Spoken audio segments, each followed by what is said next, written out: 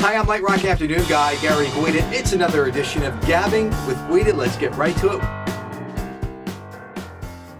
And we started with big news about Star Wars. If you're a big fan, the new Star Wars film trilogy and TV series has just been announced according to the BBC.com. The new trilogy will be separate from the Luke Skywalker saga and will introduce new uh, characters. And there's a live action Star Wars TV show coming on Disney's new streaming outlet.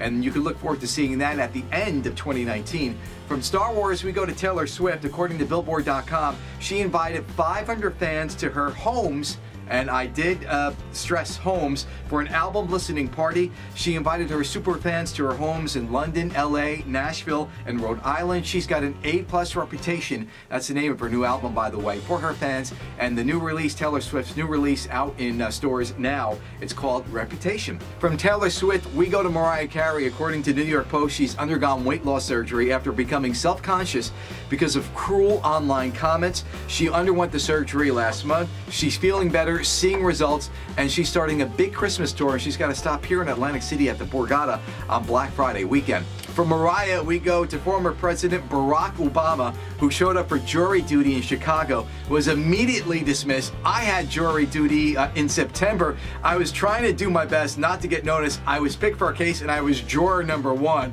But according to the Chicago Tribune, there was a frenzy outside the uh, courthouse. People were trying to take photos and, and videos of the former president, so he got dismissed, and his whopping check of $17.20 will be donated to uh, Cook County in Chicago. And that'll wrap up this edition of Gabbing with Guida.